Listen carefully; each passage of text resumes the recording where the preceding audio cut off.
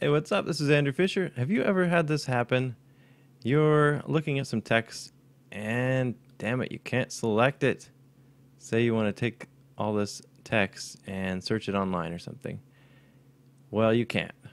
I don't know why Windows makes this text unselectable. Super frustrating. Well, check this out. I found an app that lets me select it anyway.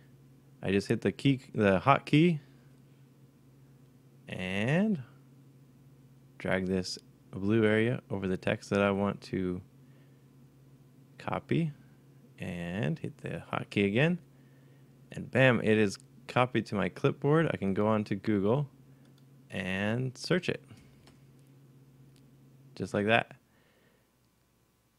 Another awesome use for this is when I'm doing online quizzes.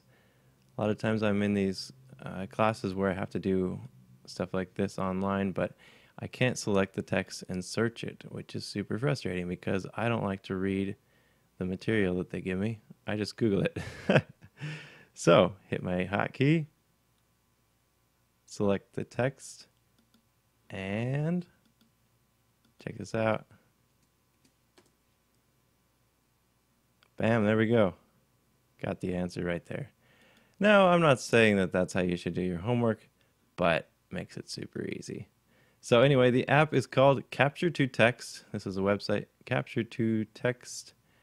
Let's see, I was testing it out earlier. So capture2text.sourceforge.net.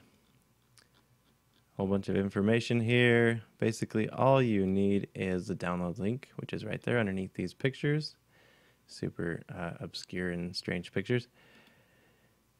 All right, so this is what the application looks like looks like once it's running. Um, so you'll download it and then um, just run it, and you won't notice anything changing. So go over here and right click on the icon, this little red icon.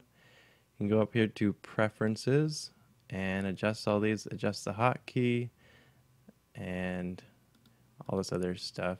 It does have speech recognition. I couldn't get it to work, but I don't really, I wouldn't use it anyway. So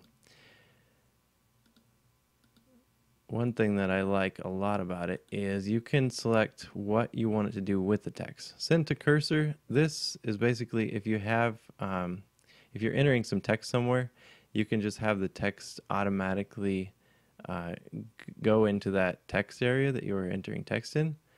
But I use this one, save to clipboard, so it just copies it basically like as if I, I hit copy. So anyway, um, Capture2Text. It's free. I went ahead and donated five bucks. I would recommend it. It's totally worth it. This thing is awesome. I don't know how the, whoever made it for free. It doesn't even make sense. This this should cost like 50 bucks. So anyway, capture2text.sourceforge.net. And thanks a lot for watching.